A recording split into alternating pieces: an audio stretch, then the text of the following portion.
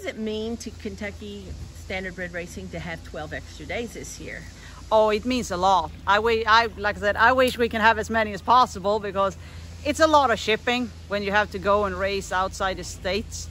And I mean, this is the the best place to be is Kentucky, and I mean it's uh, the horse capital.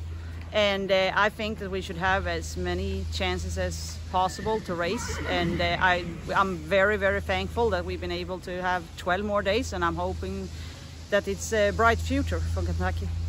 Uh, describe how big a difference it makes. Just, I mean, it's 12 days, but it's 12 days. Yeah, I know it's only 12 days, but for us just to be able to go in here and qualify, I mean, me who got so many horses, when I have to go to Ohio, for example, the closest track for me right now is takes me three hours and 15 minutes one way just to go and qualify and race. And I mean, here it's way closer. And I mean, we got a very good track here and uh, it, it, makes a big difference for everybody to have a chance to make a living. And uh, it, it means a lot.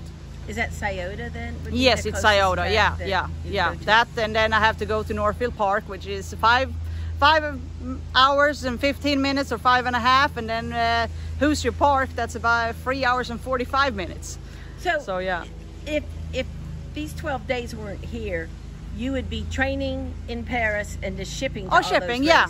yeah and I would be qualifying. That's what that's what I have to do and I mean it, it's very hard on yourself and all your help and everything and I mean it, it's it's so much better just to be able to go here and race and I like I said this track right here is the best I think in in the United States.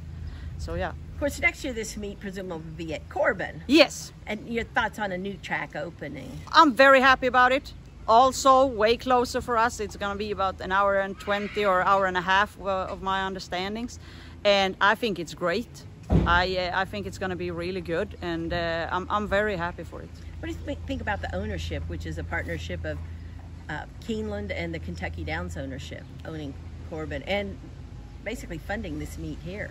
Yeah, I mean, I think I think it's great. I mean, we need we need uh, other people coming in and uh, having a, giving us a chance to race and I, I think it's great. How many horses do you have in training now?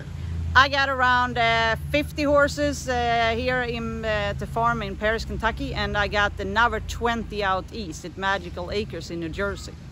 So, whether it's a big outfit such as your own, yeah. or even there's some people I've talked to that have just a couple horses here. Yeah it makes a difference. Oh yes, it does, and it's it's not for just for the big guys, I think, because it's important to have the small guys to be able to make a living of training horses. I mean, I mean it's not it's not just for me. I, I, think it's great. I mean, I'm the I'm the part of the Kentucky family. Don't matter, I have so many horses, so I feel like one of them, of course. So I, I think it's I think it's going to be great.